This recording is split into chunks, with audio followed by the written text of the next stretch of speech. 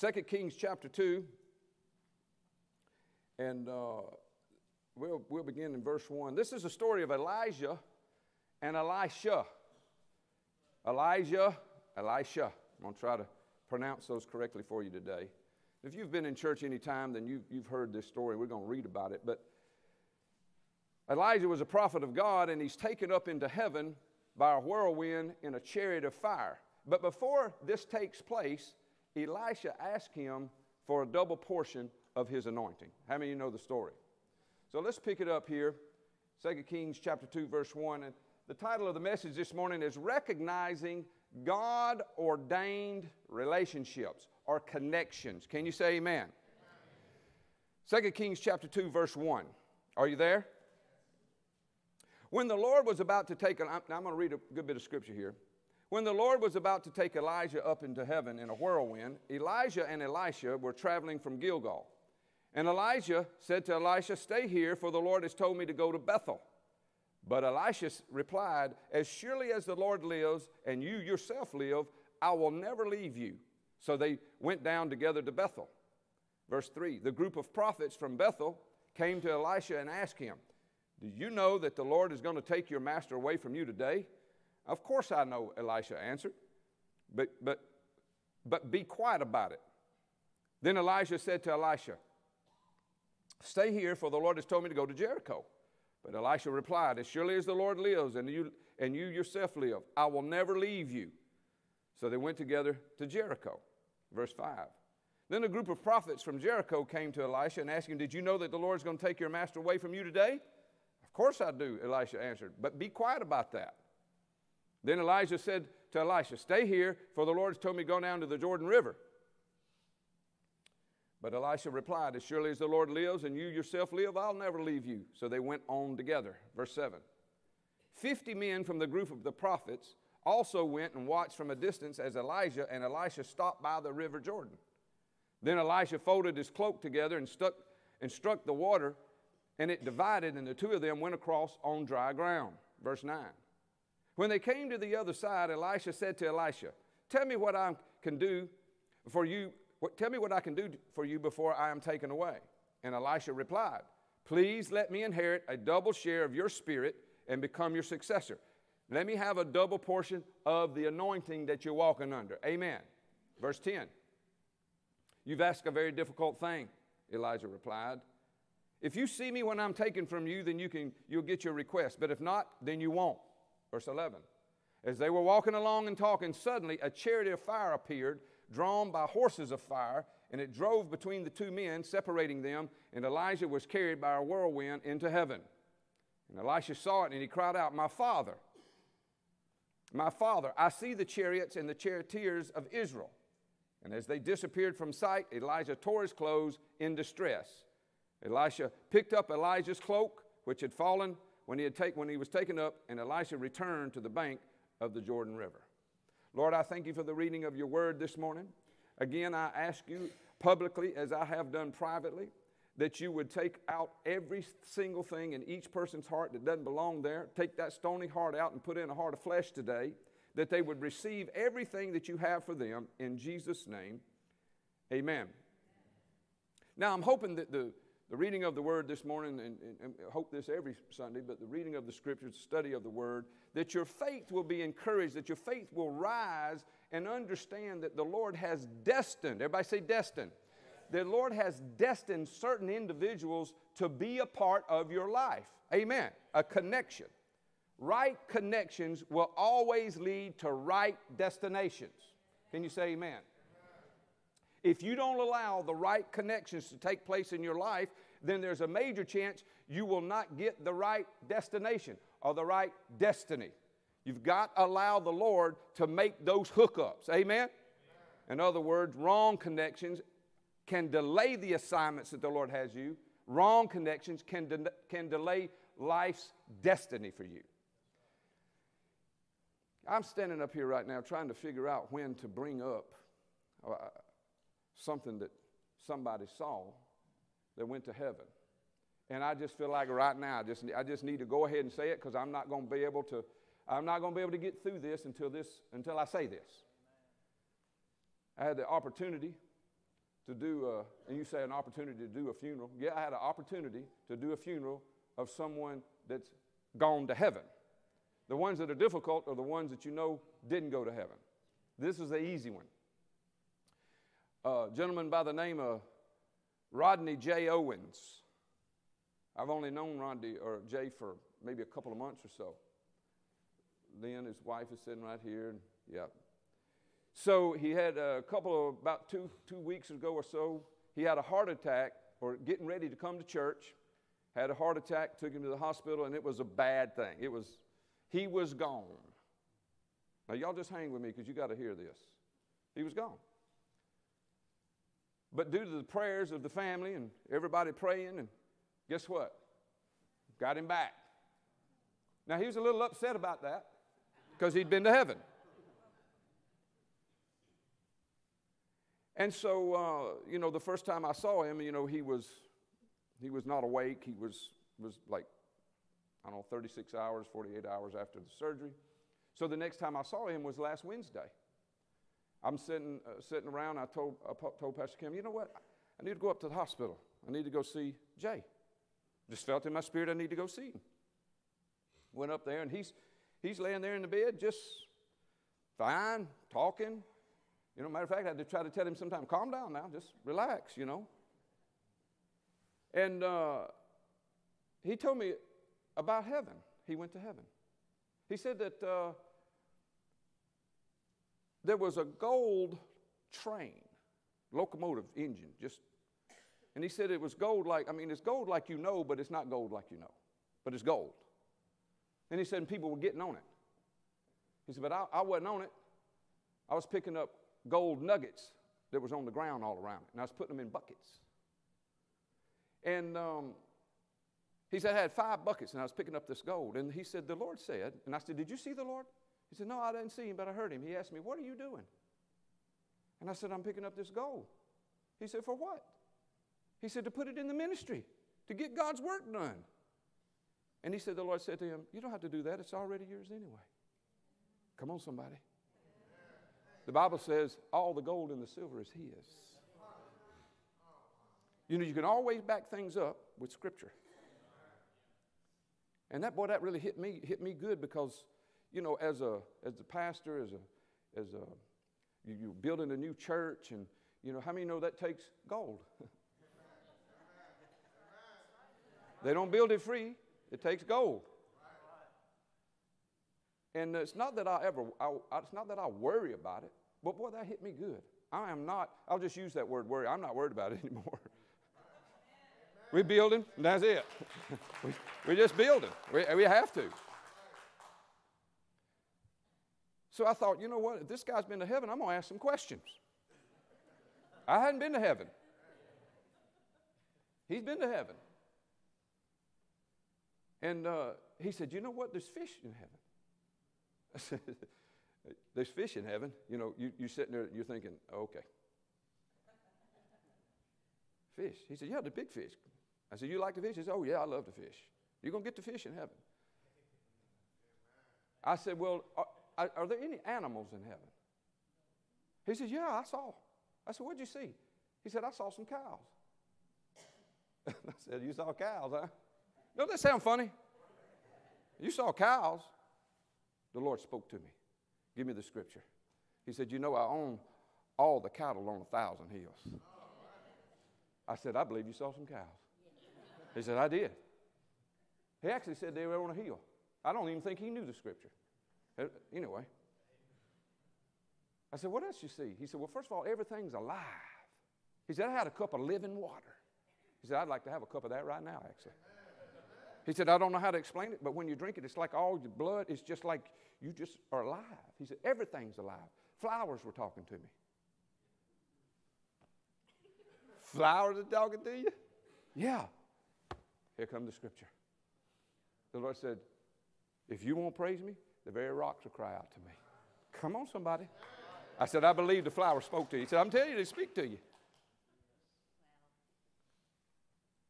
It's real, people.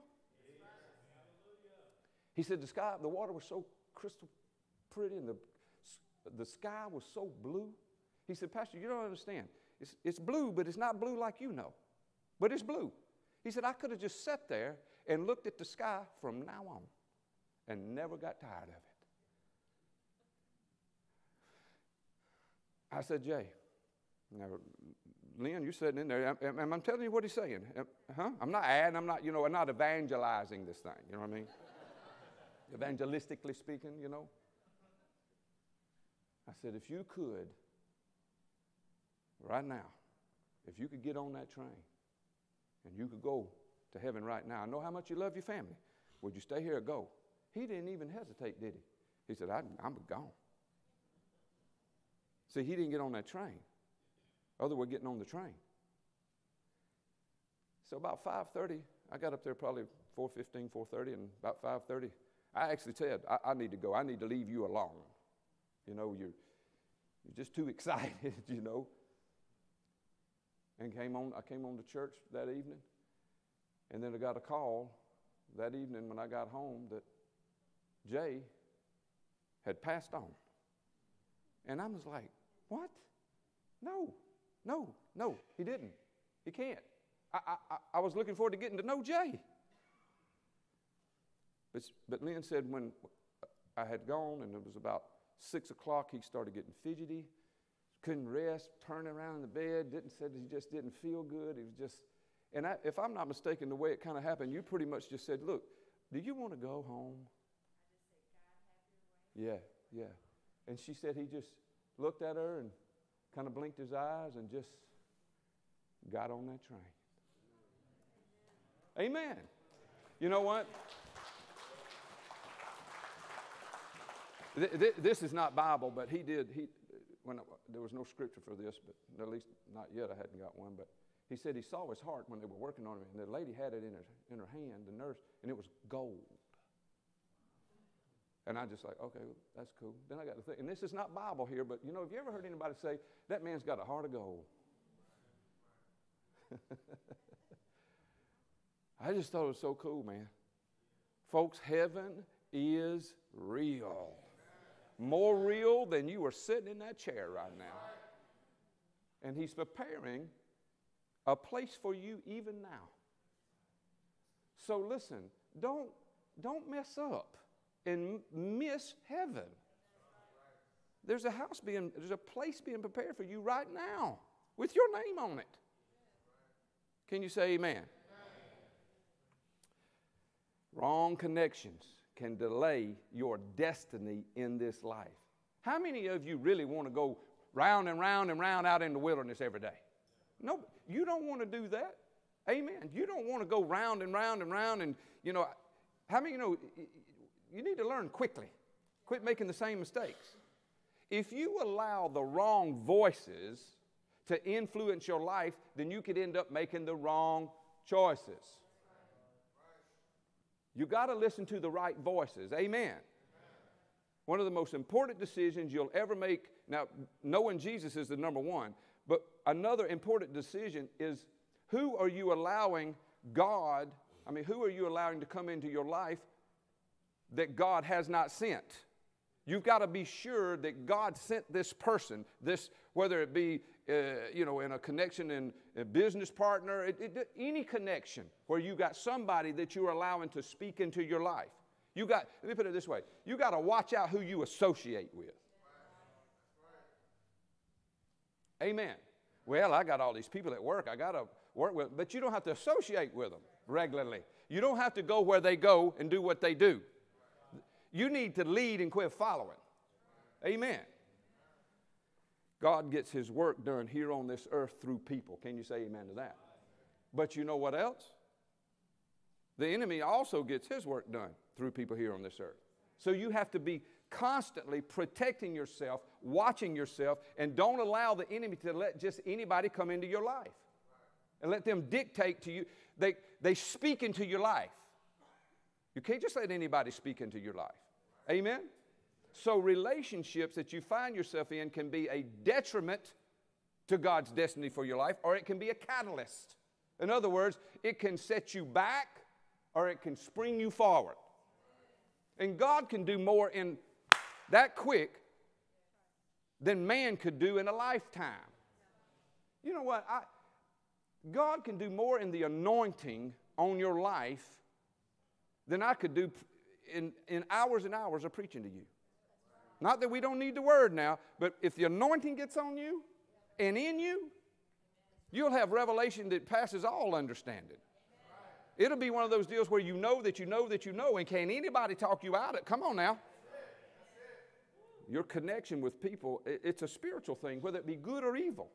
There's some powerful God ordained relationships that God has for you. You got to recognize them.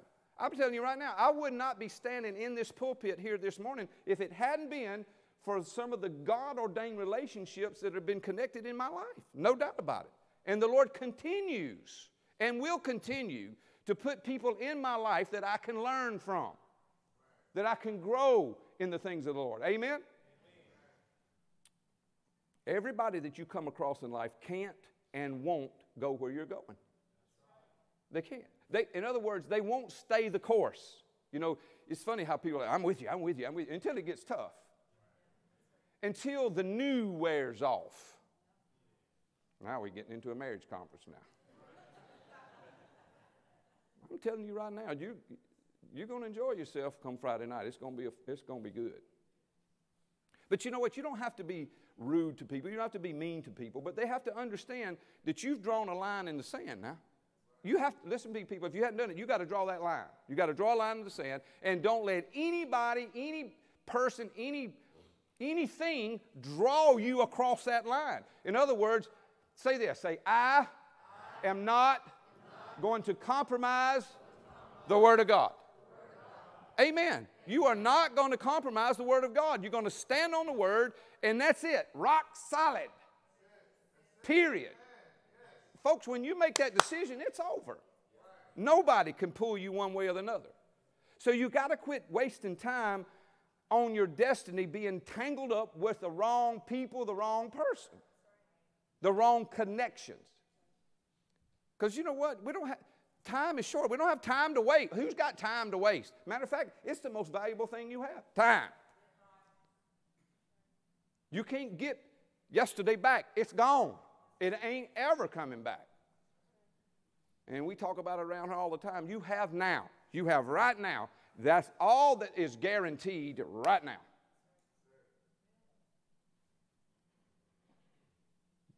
If you could put on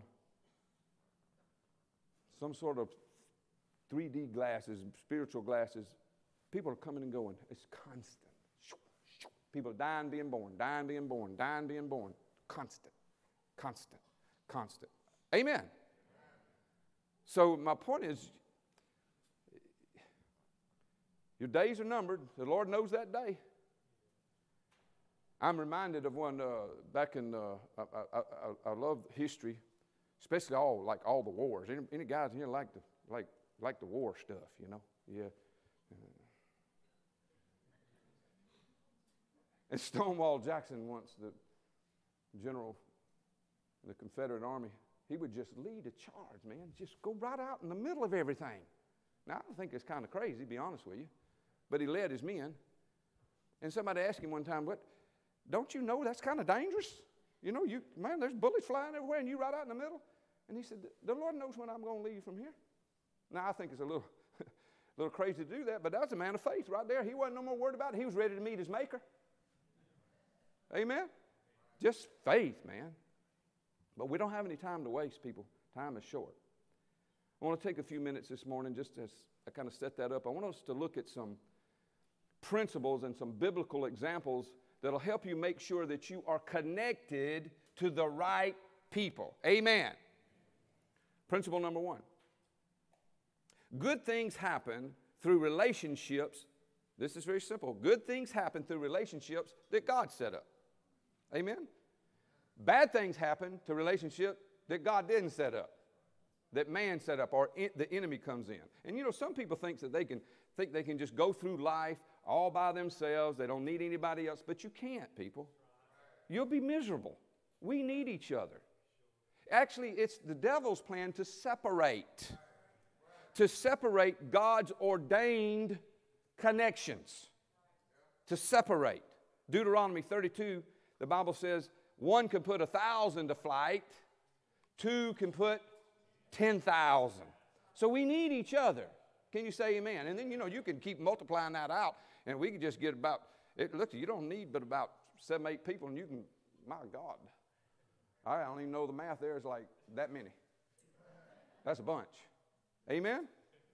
You know the old saying the banana that gets separated from the bunch is the one that gets peeled and eaten, peeled and destroyed. So the devil wants to separate. Amen. Principle number one good things happen through relationships that God sets up. Principle number two when God connects you to others, when He's ordained you to be with this person, to be with these people, however, it's a sign of His blessings for a transition in your life. Anybody know any good God connections in your life right now? You think about them. Whenever you're about to go to a new level, whenever you're about to go into a new season or walk with God, God will send somebody along there to help you get there. Amen. That, they're there to help you, not to hurt you. So, number two, God connected people are a blessing. Principle number three, these are very quick. Undeveloped potential can be unlocked in your life because you know you got some undeveloped potential. And nobody in here arrived yet, right? Undeveloped potential can be unlocked in your life if you'll recognize those that God's put in your life. There's some undeveloped potential in your life that can come out by somebody coming and telling you about it. Let me put it this way we don't see ourselves normally like somebody else sees us. If you think, oh, well, I can't do that, man, I can't, I don't feel, and somebody goes, yes, you can, man, you got this. I can see it all over you, but you don't feel that. So God sends those people in there to encourage you and help you to say, look, look, it might be a challenge, but I know the Lord's put it in you. Come on, somebody. You know people like that, don't you? And you do, and you actually you know people that you have said, you can do it. You got this. How many know we it's not that we have to believe in ourselves, we do. We have to we have to just trust God and know that He know He knows what He's doing. Amen. Amen. People that are there that God led to you, led, led to you to get you out of the box of being comfortable all the time and stretching you. Amen. Now, we got to be careful. We got to be careful because remember, God uses people and the enemy uses people. So you ought to be careful of people that come along that, how do you say this? That, that are helping you. Not folks that get you off track, that you find yourself, oh my gosh, what's happening here? You know? And, and look, let me tell you what the, the, the devil will do. He'll send, he'll send people out of the body of Christ. that have agendas and they'll begin to speak things into your life that is not from God at all. Well, this person's a prophet and they told me, listen, I, I may just go ahead and give you a warning. Or, or let me just try to help you here. Anything that is spoken in your life from a prophet standpoint should, be, should always be confirmation to you. It should never be information. It should never be like, well, I never heard that before. You have to test these things, people. Just because somebody wrote a book, just because somebody has a big ministry, come on now. The analogy I like to always use, you know, the Lord tell He's telling me, I see you in Africa. I see you doing this and that and you don't even like to leave your backyard. You ain't ever thought about Africa? Not ever, one time in your entire life. You wipe that in a way. It's got to be confirmation, like, you know, golly, I know, I know, yep, yep. And I'm not saying that everything has to be comfortable, you know. I mean, you know, there can be some stretching going on in your life, but you just, you just know that you know that that's right because people's lives are getting screwed up, messed up. Because they just, maybe they respect, respect this person or whatever, and, and they just do it. Going around that mountain, going around that mountain, going around them. mountain. Can't, can't figure out why is there, nothing seems to be working. If nothing seems to be working, then you need to make some changes. You need to go back to the beginning and let's start over. Amen. Because if it's God, it's going to work. Is there going to be struggles? There could be. But you'll go around them, through them, over them, however you need to. Can you say amen? I feel like I'm doing a marriage seminar already. Recognize, be aware, look out for God's connections in your life. Now, let me give you a quick example. I'm going to give you a couple. How many of you remember the prophet Samuel? He goes to the house of Jesse. How many of you know how many, how many sons did Jesse have? He had eight. Seven, he said, Bring, here's your sons. You got seven sons right here. One of them's going to be the king of Israel. Him, nope, him, nope, him, nope, him, nope. You ain't got any more sons? Well, I got one out there in the back back there tending the sheep. Little scrawny thing. We'll bring him here. How many of you know the story? Bring him here. And so David comes in. He goes, That's the next king of Israel. You know, man doesn't pick what God picks. He, there's no way he can do it. Nope, that's the one right there. Get the oil out. Let's anoint him. Are you hearing me? And he becomes king of Israel. Continuing on with David, if you know anything about the story, he later, hey, glory. And so,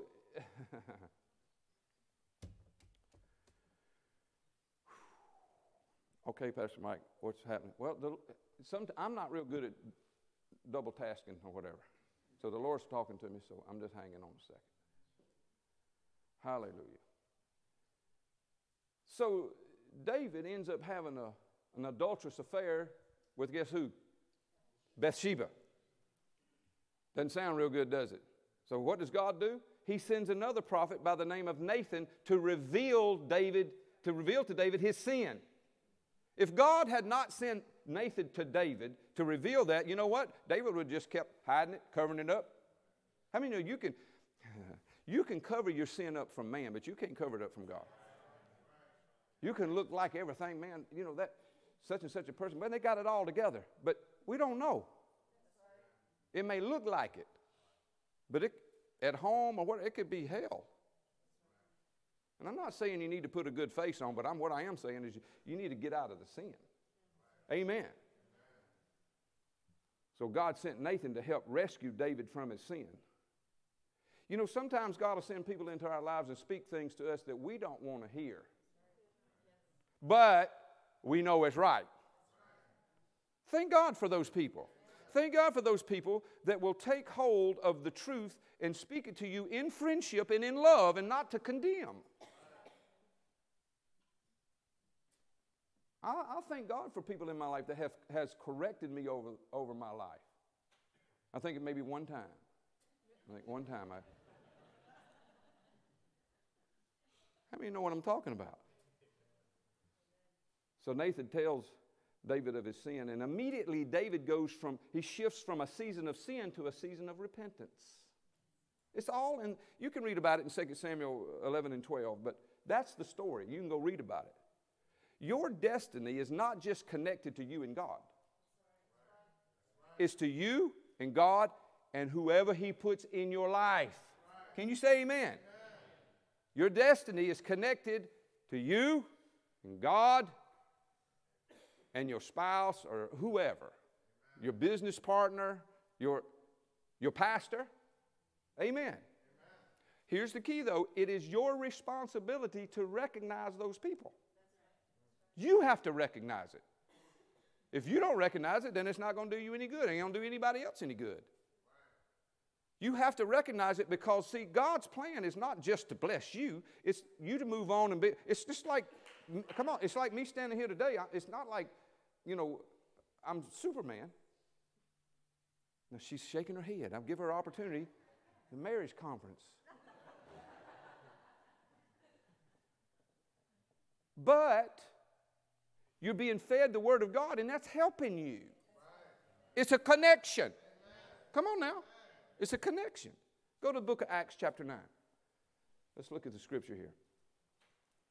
Paul is on the road to Damascus. Actually, at the time, he's known as Saul. It wasn't Paul, and he's out killing Christians or having them killed. He's enslaving Christians, putting them in prison. And, and you know the story God knocks him off his horse and he's blind for three days, and then he's instructed to go see a, a man by the name of Ananias. Look at verse 17, Acts 9 17. You know, you have to back up everything with the Word of God, people. Amen? Amen. Verse 17 says, Acts 9 17, are you there? And Ananias went his way and he entered the house, and laying his hands on him, he said, Brother Saul, the Lord Jesus, who appeared to you on the road as you came, has sent me that you may receive your sight and be filled with the Holy Spirit. And immediately, that's verse 18, immediately they fell from his eyes something like scales, and he received his sight at once, and he arose and he was baptized. Here's the point sometimes you don't, you don't see things like you ought to see them.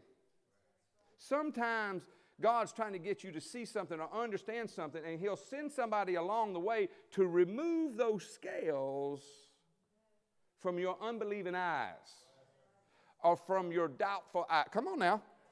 To speak life into you. That's one of my responsibilities to do that. To speak life. To preach the Word of God. That it goes down on the inside and goes and does what man can't do. I can't do it but the Word of God can. Amen. Relationships, people that come into your life and tell you that you're going the wrong way. I'm not here to condemn you. I'm not here to put you under any kind of pressure, but you're headed the wrong way. Stop doing those things that you're doing and get back. Let's just get back in the boat, or let's get back on that straight and narrow and get off that crooked road. It's the straight and narrow that leads to heaven. It's the crooked road that'll lead straight to hell. Amen. You ever heard the saying that uh, love is blind? You ever heard that? Everybody else can see that the person you're with, the partnership, the business partner, whatever, is not the person you need to be with. Everybody can see it but you. Amen. You got to make sure your relationships, business partnerships, whatever, is God ordained. And God will have somebody come along and tell you, look, you're headed the wrong way, man. Or lady, or whatever. I don't want to call a lady man. You're headed the wrong way, dude. That, that don't work either. What do you call a woman? You headed the wrong way, ma'am. It is a southern name. I was at, a store one day shopping, and, and I said something about, ma'am, and, and the lady looked at me and said, please don't call me ma'am. Makes me feel old. I said, yes, ma'am. I don't, how do, how do you, I can't correct that. That's in me, man. Huh? If you one day older than me, it's yes, sir, and no, sir, and yes, ma'am, and no, ma'am. That's why I was brought up. If you weren't brought up in the South, you wasn't brought up right. Sorry. See, this is where the Southern people go, Amen. Or, or, or either say, Roll Tide. They do that. They do that. Woo, I had to put a little life into y'all this morning. Look, look, this person of warning, because listen, it really is a warning. It's a warning. The, the Lord will warn you. He will. And thank God He will. Because you know, sometimes you actually may think you're going the right way. And He'll send somebody. Could be a friend, it could be your best friend, could be, could be a, it could be a stranger, could be next door neighbor, could be your pastor. But He'll send somebody to let you know, hey guys, watch out here. You're not going the right way. And see, here's the thing though. I've already said this, our responsibility to recognize this. It is your choice. You still have a free will. God's not going to make you do anything, no more than I can make you do anything. You make your own decisions right by yourself. You may have help with somebody, you know, but you ultimately you have to make that decision. Can you say amen? But nevertheless, God's going to do everything He can to make sure that you don't mess up your life. It's just too short, people. I mean, I know you think we have, you know, I have an 85 years, 90 years, or whatever. It's just not very long. And you start getting busy for the Lord, and it'll just pick up speed. It's just a whole lot faster. How many y'all can believe it's almost Christmas?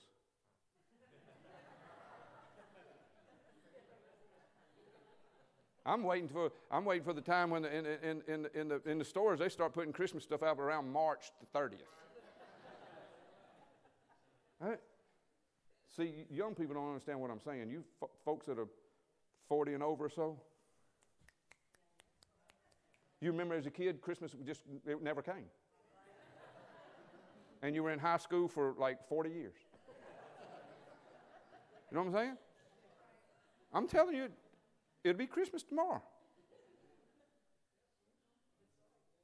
What's that about? Time is flying by. You don't have any time to waste. It's your most precious commodity time. God has sent people in your life on purpose to help open up your doors of destiny.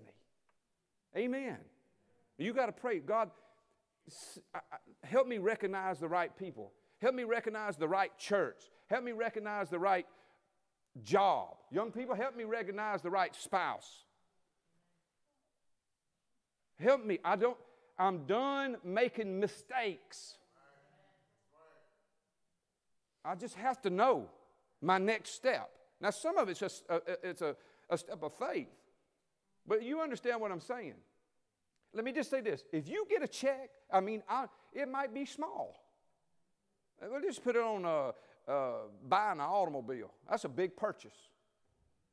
And they're putting pressure on you. You know, the deal is just today. It's just today. Here's the deal. No, it ain't just today. Uh oh. There's, there's somebody in here owns a car business. I better be careful.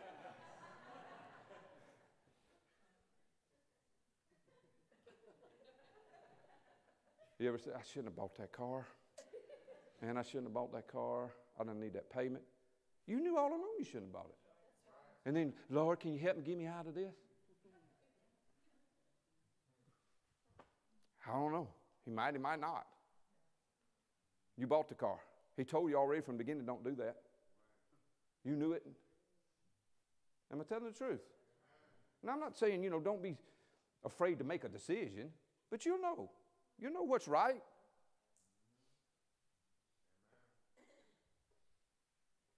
I mean, we can just get like real easy things.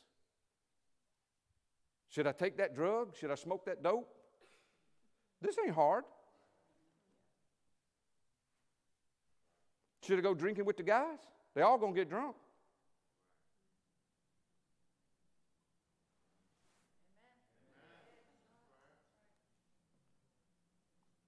I don't hang with those people anymore. That's not me anymore. I don't do that anymore. They can follow me or go on. You love people, but you don't have to do what people tell you to do. You do what the Word says to do. I was talking with Bradley yesterday at the funeral, and he was just talking about how he's so excited that he's serving the Lord now. He said, I don't come home drunk no more, sleep better. I don't have to worry about what I did or what I said or what I didn't do or what I did and I didn't know I did. And it, I, said to him the same thing I say to every, say this all the time. He's, I said, aren't you, aren't you upset with yourself that you waited so long? There ain't no, there's nobody in here this morning, nobody under the sound of my voice, that if you're not saved, you hadn't thought about it a lot. You think about it all the time. I wish I could be like that guy. I wish I could be that like that girl. You don't want to be like any of them. You just want to be the way the Lord made you. But in order to do that, you have to accept Him. You have to have a personal relationship with Him. And listen, as difficult as it may seem, well, you just don't, Pastor, you have no idea what I'm going through. I mean, I'm, I'm in a deep hole. There's no hole too deep for God. None. Nowhere. No how. Amen. He got a long arm. And he'll reach down, he'll pull you up out of that hole, and you'll never be the same again.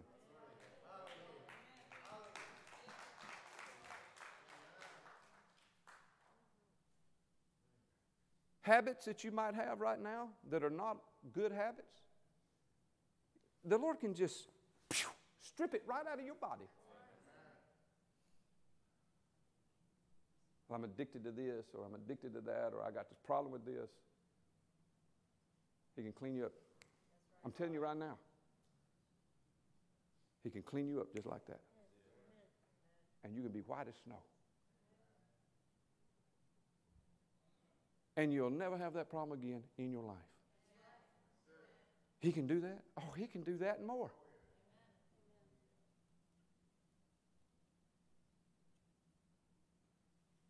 You got off your message, didn't you? I got on God's message.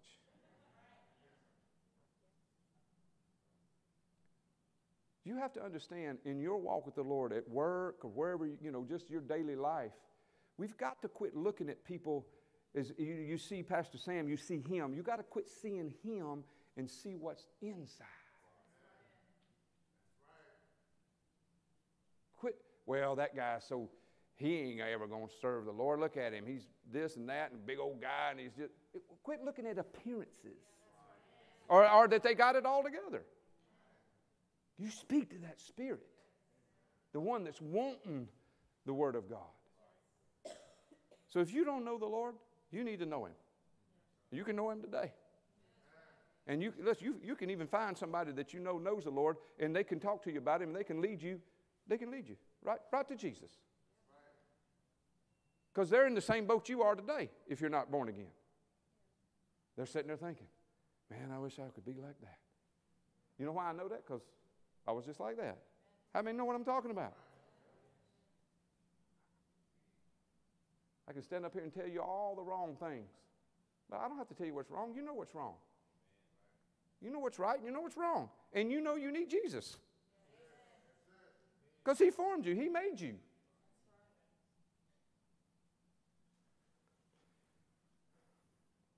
You remember Daniel and the three Hebrew boys? Uh, I just forgot. Shadrach, Meshach, yeah, you remember, but I don't. Shadrach, Meshach, and Abednego. They're in a very hostile environment. I mean, they're with King Nebuchadnezzar. He's wanting them to bow down. They won't eat his meat. They won't drink his wine. They won't, they're not going to bow down. They're not going to do what he said do. And see, here's my point. You got Daniel and the three Hebrew boys. God connected them guys together so they would be able to stand. They were there helping. You know what? It's, it's, it's, it's one thing, you know, to do something on your own, but if you got a, somebody with you, standing by your side, come on now. Well, like I said, one puts a thousand to flight, two put 10,000 to flight. So we need that help. Connected them together, and they, look, even though they were thrown in that king's fire, they didn't even get singed. Can you say amen? Put them together. You say, why did you tell me that? Because there's some people in here this morning. Now, it may not be everybody, but there are people in here this morning that you're working or you're, you're in a hostile environment. You're in an environment where, you know, there may not even be any Christians. You know, and it's so funny how people go, Pastor, could you pray for me? What, what, what's the deal? Well, there's, you know, there's 10 employees at work, and even the, even the, even the owner is, he's the devil. he's the devil. And I just, you know, I just got to get out of there. Your light shines the brightest in a dark place. Amen. Nobody said it was going to be real easy. So, you know what you need to be doing instead of, God, get me out of here? Say, Lord, either send somebody in here with me, or let me get some of these people born again here. And if there's nobody there, look, I'll even go this. I'll even make it this easy for you. Just testify. Just just live the life you're supposed to be living, and invite them to church. We'll do our best to clean them up. But you know who really does the cleaning, don't you?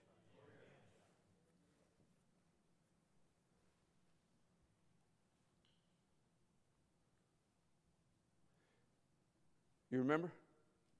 You remember when you were flopping around in a boat like a fish? So, what was that about? That's just between me and somebody else right now. But it was a glorious time, wasn't it? You got to let people know at work and your friends and neighbors and everything. You got to let them know I've made a change in my lifestyle. Don't you be embarrassed. Well, I don't know what to say to them. You just tell them. I, look, here's what you tell them. Here's what you tell them. You know what? I, ain't going to be going down to Florida with you anymore. I'm not going to be going down and getting drunk with you anymore. I, have ch- my life has changed. I go. You know, I had somebody the other day say they had some relatives coming in, and the relatives are, uh, you know, they're just worldly people. I mean, they do what worldly people do. But this person said, "Look, we, we really, pre- you know, we're looking forward to y'all coming. However, you ain't bringing that stuff in my house. You're not bringing it in. This is my house, and you ain't bringing that stuff in here." What you do outside, your place, that's your business. But here in this house, that don't belong in here. That's the wrong spirit. You're bringing the wrong spirit in here. You know, and this is one of the things that really gets off on people. I don't know where, where, how the church got here. They just listen to the wrong people. Well, you can drink. You can. Drink all you want. But you ain't bringing it in my house because it's the wrong spirit. Isn't that what it's referred to? And I've said this a million times. What you take in, what spirit you take in, you come under the control of that spirit. That's why you start drinking, your mouth start getting dirty. Start, start saying things you wish you hadn't said, start doing things.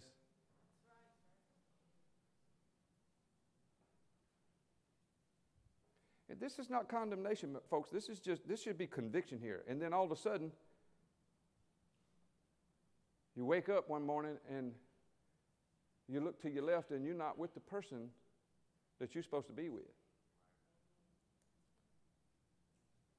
All you got to do, how many ever watch live PD?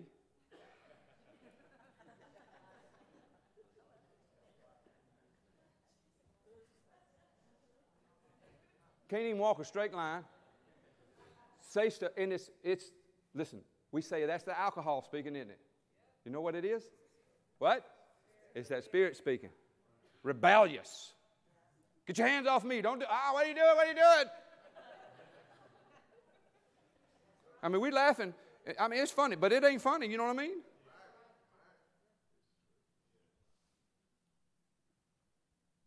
I don't. I'm just. I'm just. I'm just. I'm just going to say it. Said it anyway, so it doesn't matter. Why, why you got to do that anyhow?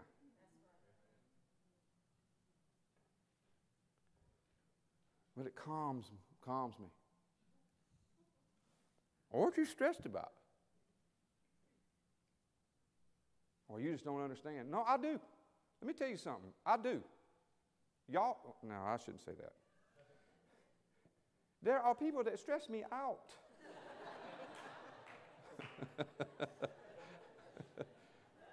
but I don't go, get me a drink.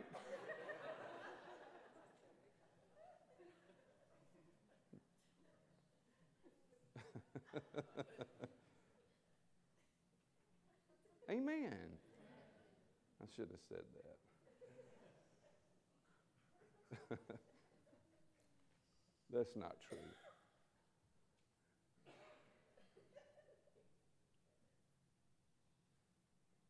You know what? For those that understand, I'm drinking right now. I'm starting to move slow because I'm drinking right now. and it feels good.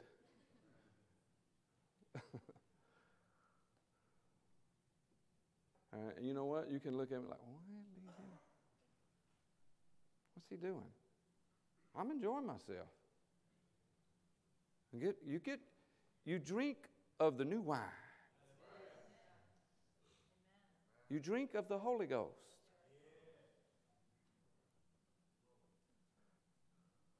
Hallelujah.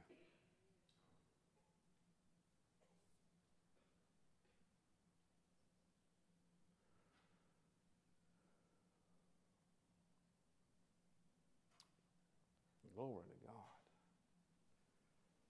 Mm. The devil wants you involved in wrong relationships so he can stop the call on your life. Just because you are born again doesn't mean that the enemy just goes, oh, well, I guess ain't nothing going to do about that now. When you get born again, that's when the attack comes. Now, I'm not talking about an attack that he wins, because you win. But until then, you're his anyway. He could care less. Now you done ticked him off. But it don't matter. I like the devil to be ticked off. Try to tick him off every day. Because he can't, he can't do anything about it. Can you say amen? Elijah saw something that Elijah had and he wanted it and he started following him. And see, that's the problem with so many folks. They just don't want the things of God bad enough. What you want is what you'll pursue. That's pretty easy, people. What you want is what you'll pursue. It's, the, it's, it's Pastor Jonathan's message this morning. It's, you know, putting action to something, you'll find out what somebody really wants. Well, I want to be at church. Well, then you'll be at church. Well, I want to be. No, you don't. you can tell me you want to be, or you want to do this or that, then you'll do it. Amen. You want to fulfill the lust of your flesh? Then you'll pursue fleshly desires. Because the flesh, you have to understand, the flesh is contrary to the spirit. That's why we have to walk in the spirit and not the flesh. We've talked about this a few weeks ago. You got to crucify, you got to beat that flesh down and say, No, flesh, you're not going to control me anymore. I'm not doing that. Because it's a fleshly desire. And your spirit man goes, we, Come on. You feel that. You feel it on the inside. You feel that nudging. But you just give in to the flesh.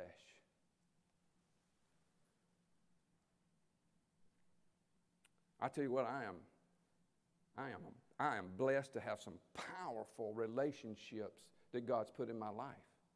Spiritual, I mean, spiritual men and women of God that have spoken. I know you, go, you I, I know you might get tired of this, but I just keep pronouncing it over my life. I am a blessed man. Highly, highly favored. and you are too. You've got to see yourself that way. You've got to begin to recognize who you are. Well, well how many times are you going to tell me that? Till you get it.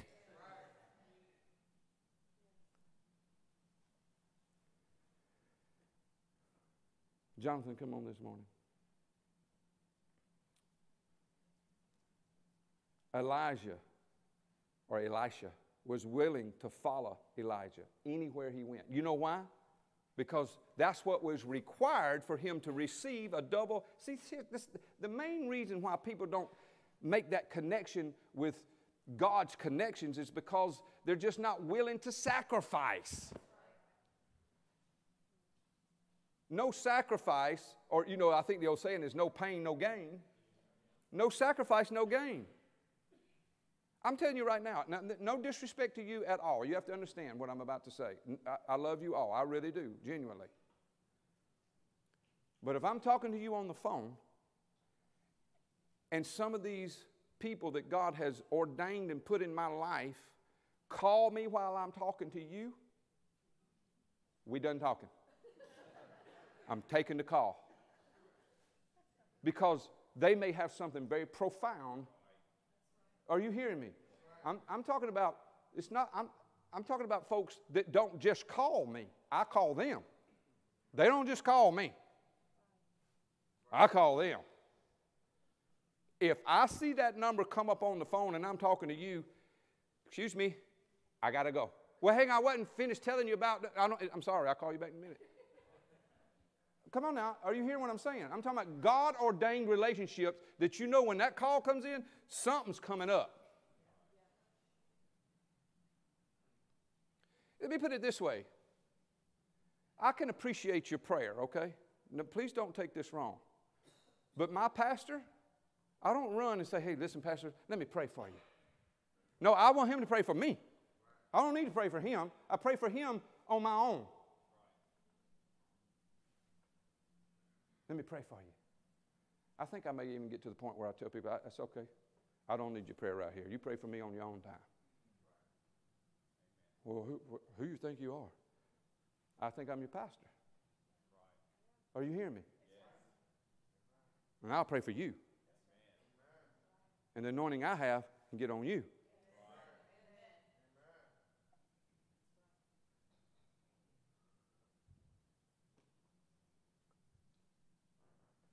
See, and I, I, I bind the enemy right now because I, I feel that I feel that spirit right now floating around.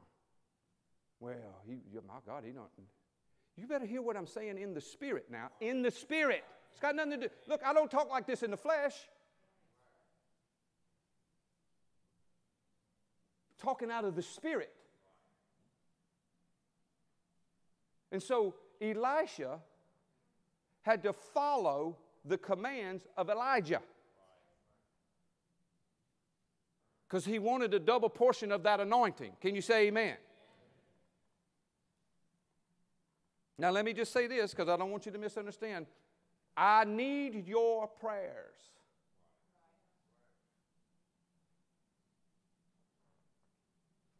I need you to pray for me. I need you to pray for Pastor Kim. We need you to lift us up. Pray protection. Pray wisdom. Pray revelation and understanding. Pray, actually, you know what I want you to pray for me? Wisdom. Wisdom. I need wisdom to do, the, you know, to, to say the right things to people, to, to help people. There's, there's times that I just, I, I don't know what to do sometimes. And I need that. I need that prayer. Can somebody say amen? amen.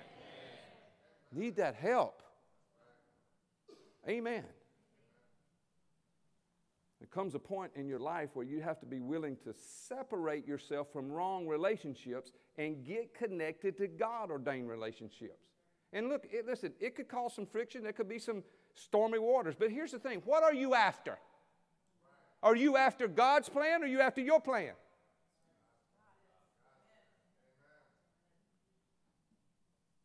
I like what Pastor Jonathan said the other day. He said, This year, I'm not looking for the Lord to bless my stuff or my, my way. I'm going to find His and I'm going to go that way. Because just because it's something that you might desire, God can bless you. But I want to make sure that I'm in the middle of His plan, not just mine. Because if you're not careful, your flesh, will, I'm telling you right now, your flesh will get in the way. Isaiah 55 9, this is our memory verse for the week. If you'll put that up for me. It says, For as the heavens are higher than the earth, so are my ways higher than your ways, and my thoughts than your thoughts. Lord, I want your thoughts. I want your ways. Amen? Amen? The question this morning is this Who are you lifting up? Who are you praying for? Who are you serving? And, and please don't misunderstand. We don't serve man in a sense that they're our God. Amen? But who, who are you praying for? Who are you serving? Who are you promoting? Who are you listening to on a daily basis? If it's not God connected people, then you need, listen, you need to get away from that. If it is, then when you see them move up a level, you get to go with them. So when Elijah went up in the whirlwind, that anointing, his mantle, his cloak, that anointing fell down on Elisha. A double portion, people. Recognize your God ordained connections in your relationships. It can do nothing but benefit you and help you move along. Amen? Stand to your feet this morning. Hallelujah. Every head bowed, every eye closed for just one moment. At the beginning of this service this morning, I told you about Jay and how he went to heaven. And I told you about what he saw and that there was a train that he got on. And I'm just telling you this morning, that train is passing right through here. You can make sure today that when you take your last breath, because we all to take a last breath, we're to breathe out our last breath short of the rapture, and we're to leave this place. And you need to make sure, I'm, I mean 100% sure, there can't be any doubt that when you take your last breath, you catch that train. Because that's, that's a train you want to be on, a train of glory. So this morning, just by the simple raising of a hand, if you don't know the Lord Jesus Christ, you don't know Him personally, talk with Him daily, He talks with you, you don't know 100% that you would go to heaven if you died today. We want to pray for you today. If that's you, if you'll lift your hand, just lift it up and put it down. Thank you. Anybody else says, Yep, that's me. I, I just today, today I have to know. I can know today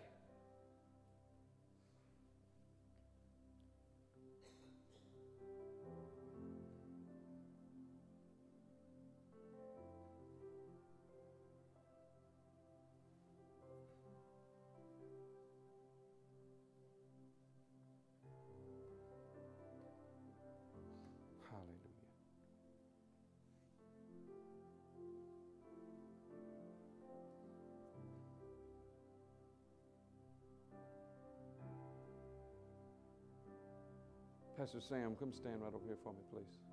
Face the congregation. Every head bowed, every eye closed.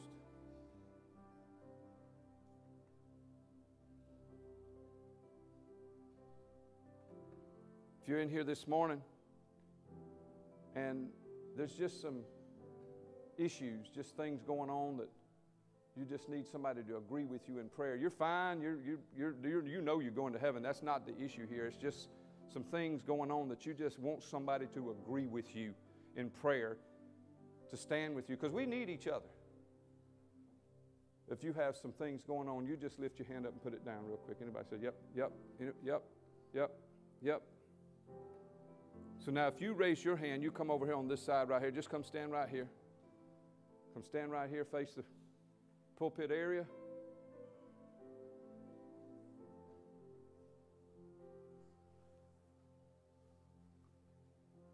I want you to pray for him. And look at me. Look at me. Look at me. Look at me. He raised his hand a minute ago. I want you to pray with him. Look at me. Look at me. Brand new. Brand new. I'm talking like not even out of the box yet, brand spanking new. Don't worry about here. This is here. Hallelujah. Hallelujah. If you'll back up just a step. If you'll spread out a little bit for me. All of you.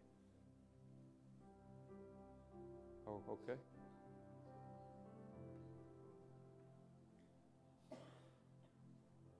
Billy, come around here, please.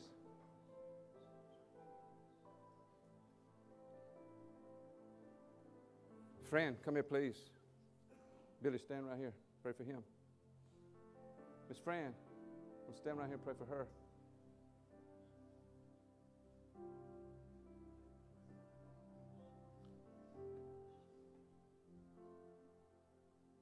Can y'all spread out a little bit for me right here?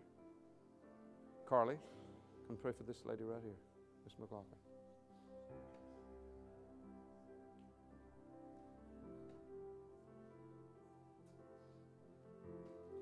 Rodney, come pray for this gentleman here. Ron Spall, come here, please.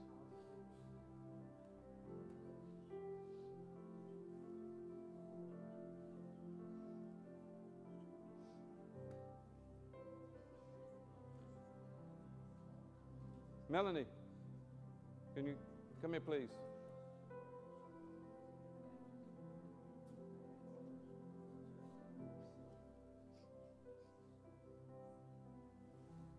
Penny. Penny. Pray for her. Pray for her.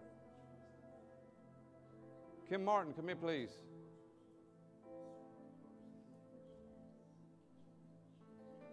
See the young girl on the end?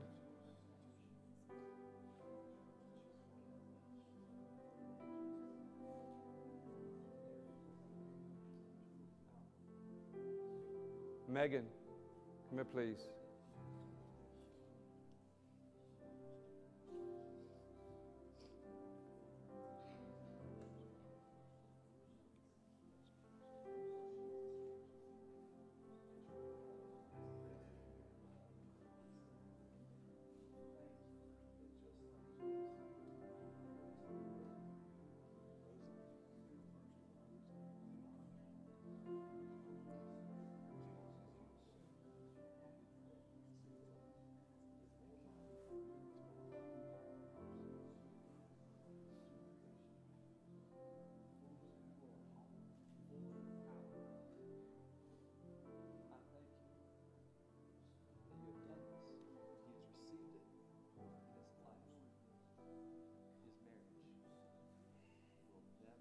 Amanda.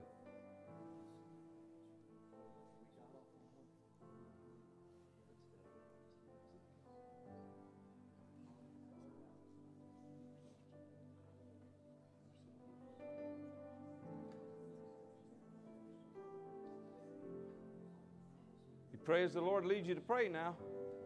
You don't have to be in a hurry.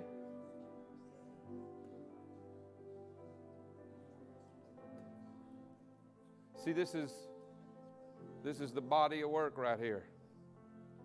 This is an extension of the body right here.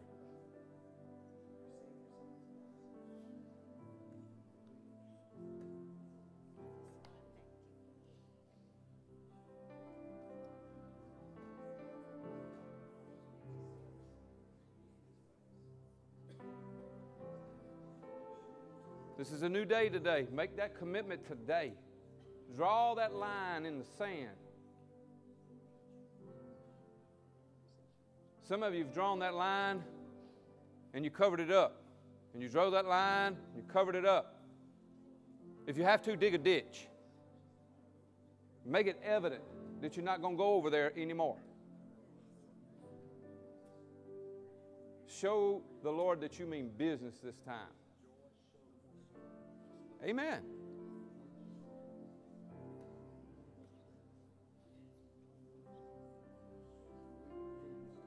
I decree and declare every single prayer right now that's being prayed and agreed on with these individuals here this morning, every single one of them will come to pass. Every single need that has been requested will be met. Don't lose faith. Don't lose faith. Don't lose faith. You continue to stand strong and watch God work an absolute miracle. You coming forward this morning is a step of faith. You put in action. Now let's just believe God.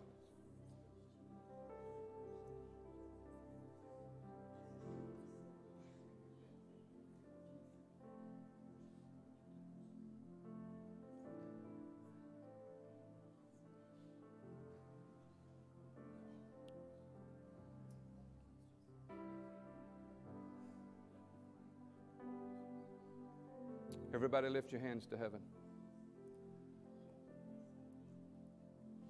Lord, we thank you that needs are being met. Supernatural things are happening behind the scenes that we can't see, but we know and trust that you're in control. Every need being met today, Lord. Every heart being purified. Lord, give us those opportunities as you do every day outside of these walls to be a witness for you. Thank you for your protection. Thank you for watching over us. Until we come again together, may we be the light that you called us to be in a dark place. We give you glory and honor and praise in Jesus' mighty name. And everybody said, Amen, amen. Shake somebody's hand out when you leave here this morning. Give them a hug. Invite somebody to church this next week. Don't forget tomorrow night, prayer at 7 o'clock, 7 to 8. We'll see you then. God bless you.